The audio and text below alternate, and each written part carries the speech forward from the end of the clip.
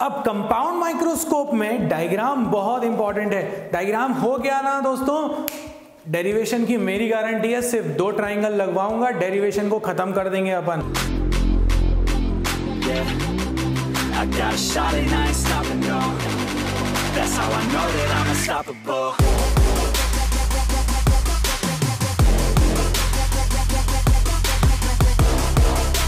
इस डायग्राम को समझना ज़रूरी है। सबसे पहले तो ऑब्जेक्ट को कहाँ रखा हुआ है अपन ने?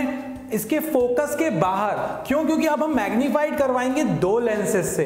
ये लेंस कहलाएगा ऑब्जेक्टिव और ये लेंस कहलाएगा आईपीस तो ऑब्जेक्ट से जैसे ही रेस चली, एक रे पे तो कंट्रोल नहीं है ऑप्टिकल सेंटर से पास करा दो। दूसरी रे जाएगी पैरेलल पैरेलल रे कहाँ से जाती है? फोकस से। इस पॉइंट पर दोनों इंटरसेक्ट करेंगे तो यहाँ पर एक इमेज बनेगी। ये किसने बनाई? हमारे ऑब्जेक्टिव ने। ऑब्जेक्टिव ने यहाँ पर बना दी इमेज अब हम क्या करते हैं इसमें? इस लेंस को इस तरह से अरेंज करके रखते हैं कि ये जो इमेज बन रही है, ये इसके ऑप्टिकल सेंटर और फोकस के बीच में बन जाए। और जैसे ही इसके बीच में बनेगी, हमें पता है वो सिंपल माइक्रोस्कोप वाला लॉजिक लग जाएगा।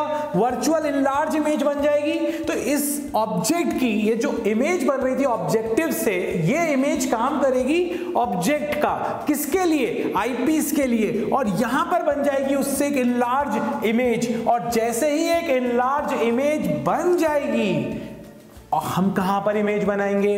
हम इसको लिख रहे हैं, ये वी है। बट तुम्हें भी पता है कि ये वी नहीं, हम कहाँ बनाते हैं इसको? डी पर। V basically equal to D है। और अब ये जो हमारी आई पर एंगल सबस्टेंड करेगा, ये बीटा कहलाएगा। अब डायग्राम में एक बार, यहाँ तक का तो समझ में आ गया। अब देखिए ब्लैक से बनाया मैंने। एक रे तो आपका इस पे कंट्रोल नहीं है, जाने दो। इस रे पर आपका कंट्रोल है। पैरेलल गई, इसको डाइवर्ट करके पास करा दो। यहाँ पर नहीं बनाओगे, कोई नहीं देखने वाला, सिर्फ़ आई बना देना कि यहाँ से रेज निकल रही थी और एरो ज़रूर बना देना। अब एक्स्ट्रा पोलेट कर रहे हैं तो यहाँ बनेगा। अब इसमें भी पता है, कई बार आप लोगों को डाउट्स आते हैं, सर, ये इमेज जो बन रही है, वो यहाँ बनती है, यहाँ बनती है, यहाँ किसी की लेंस के साथ ही आ जाती है, किसी की यहाँ पर आ जाती है। भैया, सब सही है, सारे ऑथर भी सही है। ये इमेज की कोई भी लोकेशन लोकेशन हो सकती है, ये तो वर्चुअल इमेज है ना, ऐसा लग रहा है वहाँ पर है। है तो नहीं ना तो ये यहाँ पे भी लग सकता है, यहाँ पे भी लग सकता है, यहाँ पे भी लग सकता है, कहीं पे भी लग सकता है। वर्चुअल है। अब अगर अपन आ जाए इसमें तो ये डीपर बना। अब ये बीटा एंगल हो गया। जैसे ही बीटा एंगल हुआ, आपको एक ट्राइंगल दिख रहा है। ट्राइंगल क्या दिख रहा है? A double dash B double dash O ये ट्राइंगल दिख रहा है कि नहीं दिख रहा?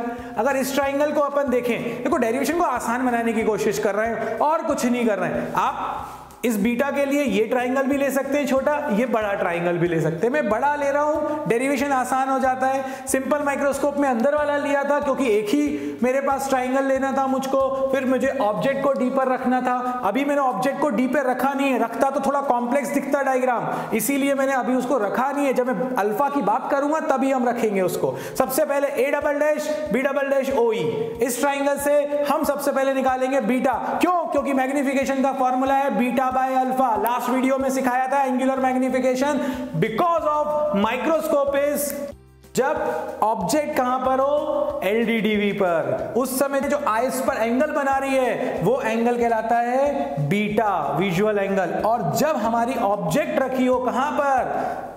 एलडीडीवी पर, उस समय जो हमारी एंगल बनाती है, हमारी आईज पर, उसको हम बोलते हैं अल्फ़ा जिन्होंने भी ये सिंपल माइक्रोस्कोप का वीडियो नहीं देखा हो प्लीज़ उस वीडियो को देखिए। उससे ये m is equal to beta by alpha का लॉजिक मैंने बहुत अच्छा समझाया है। वो समझ में आ जाएगा तो ये बहुत आसान हो जाएगा।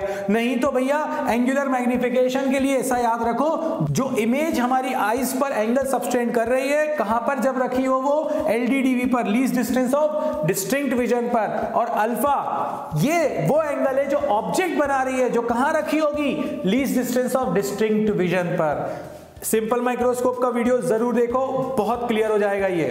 अब अपन आ जाते हैं, अगर एंगल बहुत छोटा होता है तो तो beta can be written ten beta तो m is equal to ten beta by ten alpha अब इस ट्राइंगल में आ जाते हैं।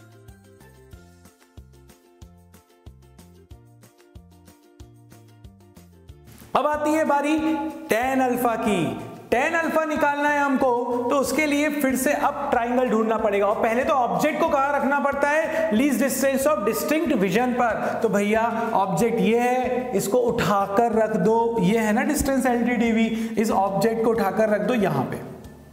मैं ब्लैक पेन से बनाता हूँ इसको। ये मेरी रखी हुई है object A dash B triple dash double dash तो ले चुका था। अब ये जो ऑब्जेक्ट है ये जो आई पर एंगल बना रही है ये एंगल है अल्फ़ा फिर से देख लीजिए ये ऑब्जेक्ट कहाँ रखा मैंने? माना है ऐसा कहाँ रखी हुई है? एलडीडीवी पे. तो ये जो एंगल बना रही है आई पीस पर ये एंगल क्या कहलाएगा? अल्फ़ा विजुअल एंगल हो गया अल्फ़ा सो so, अब मुझे निकाल कर लेकर आना है इस अल्फ़ा की वैल्यू दिख रहा है डायरेक्ट? क्या दिख रहा है? ये ट्राइंगल दिख रहा है. जैसे इस ट्राइंगल को देखा हमने, ये हमारे पास हो गया परपेंडिकुलर ये हमारे पास बन गया base O E A double dash O E A double dash बन गया माइनस डी वैल्यू रखी tan alpha is equal to A double dash B triple dash by minus D अगर देखा जाए तो A triple dash B triple dash object ही तो है तो मैं इसको क्यों बार बार ये लिखूं? मैं इसको ए बी ही लिख देता हूँ ना। अगर मैं इसको ए बी लिख सकता हूँ तो ये बन गई मेरी इक्वेशन थ्री एक सेकेंड के लिए फ्रेम को पॉज करो नोट करो, और इसके बाद हम बढ़ते हैं आगे।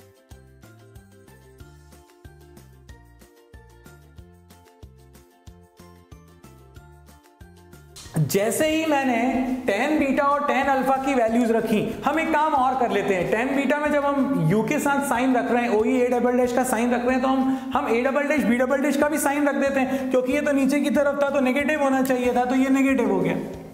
और ये हमारे पास पॉजिटिव है, ये इस तरफ़ अपोजिट है, ये नेगेटिव होना चाहिए था तो वो तो हमने सही रखा है। तो इसका मतलब ये है कि एक नेगेटिव एक्स्ट्रा बच रहा है तो मेरे पास क्या आ गया बच्चों यहाँ पे? Negative a double dash B double dash upon minus D is equal to A B by minus D again minus D cancel हुआ, ये क्या आ गया? A double dash B double dash upon A B सबसे ज़्यादा tricky step यहाँ पर आती है। देखो फाइनल इनिशियल इमेज थी ए बी फाइनल इमेज थी A double dash B double dash but बीच में एक और बनी थी ना ए डैश बी डैश और एक्चुअली में देखा जाए तो इस लेंस के लिए ये ऑब्जेक्ट है, ये इमेज है। और size of image by size of object क्या बन जाता है? मैग्निफिकेशन तो एक काम करते हैं, हम इसमें क्या करते हैं? हमने इसमें ए डैश बी डैश का मल्टीप्लाई किया ए डैश बी डैश का डिवाइड किया। क्यों किया? ताकि ये बन जाए size of image by size of object और इस वाले केस के लिए भी आप गौर से देखो A double dash B double dash क्या है? Final image A dash B dash क्या है? ऑब्जेक्ट तो size of object upon size of image ये किसके लिए? है आईपीस के लिए. ये इमेज ये ऑब्जेक्ट और A dash B dash size of object for objective और ए बी क्या है? Size of object for objective तो आ गया ना ये object size upon image size object size upon image size ये आ गया किसके लिए? ये आ गया आईपीस के लिए. और ये आ गया हमारे पास ऑब्जेक्टिव के लिए. यानी M E into M O negative सिर्फ़ इसलिए आ रहा है क्योंकि एक बना रहा है रियल इमेज एक बना रहा है वर्चुअल रियल बनता है तो मैग्निफिकेशन नेगेटिव वर्चुअल बनता है तो मैग्निफिकेशन पॉजिटिव अब आपके पास तो फॉर्मूला है ना मैग्निफिकेशन के? वी बाय यू लेंस के. लीनियर मैग्निफिकेशन के फॉर्मूले का डेरिवेशन ज़रूर देखना बाबा जी पे. जल्दी से इतना नोट कर लीजिए, इस सेक्शन को मैं रब करता हूँ.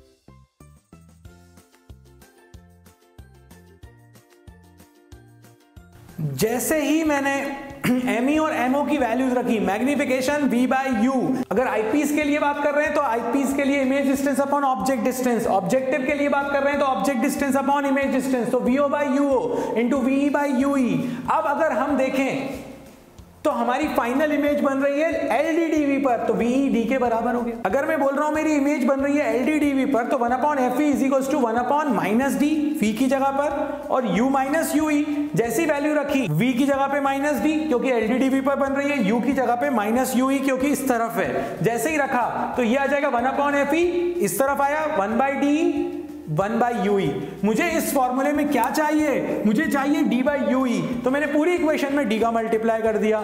जैसे ही करा तो D by F E, D by D D by U D by U मिल गया। डी से डी कैंसिल हुआ, one plus D by F E. ये हमने सिंपल माइक्रोस्कोप में भी किया है। डी बाई यू की वैल्यू इसमें रखें। जैसे ही वैल्यू रखी, क्या मिला? Minus VO upon UO one plus D by F E और ये हो गया हमारे पास मैग्निफिकेशन का फॉर्मूला कब? जब इमेज कहाँ बन रही हो? एल डी डीवी पर। अब आता है दूसरा केस अब अगर मैं इन्फिनिटी पर फाइनल इमेज बनाऊँ तो यू एफ़ e के बराबर हो जाएगा। ऑब्वियसली जब ये इमेज इसके फोकस पर होगी, तभी तो इन्फिनिटी पर इमेज बनेगी। अगर मैंने लिखा U is equal to F E so minus V O by U D by U की जगह क्या आ जाएगा? एफ़ ई आ जाएगा। और ये आ गया अपने पास मैग्निफिकेशन का फॉर्मूला एक और इंफॉर्मेशन देना चाहता हूँ दोस्तों। अगर आपसे कोई कहे लेंथ ऑफ़ ट्यूब भी निकाल के लाइए। तो देखिए, जब हमारी image L D T V पे बनती है तो ये पूरी डिस्टेंस क्या है? वीओ ये डिस्टेंस क्या है यूई e. तो लेंथ ऑफ़ द ट्यूब क्या आ जाएगी फ़र्स्ट केस में जब एल पर बन रहा है हमारा final image VO plus UE और याद रखो, ये डिस्टेंस है लेंथ है, इसीलिए मैग्नीट्यूड ले रहे हैं। इस केस में क्या आ जाएगा हमारे पास? वीओ प्लस एफ़ क्योंकि यूई तो किसके बराबर हो गया अब? एफ़ ई के बराबर हो गया। ये आ गई हमारे पास लेंथ ऑफ़ ट्यूब और ये डेरिवेशन हो गया बहुत ज़्यादा आसान। फिर भी कोई डाउट हो, फिर भी कुछ दिमाग में चल रहा हो, फिर भी कुछ ऐसा हो जो समझ में नहीं आया हो, बिल्कुल पूछिए इस डेरिवेशन में इतना ही जय हो।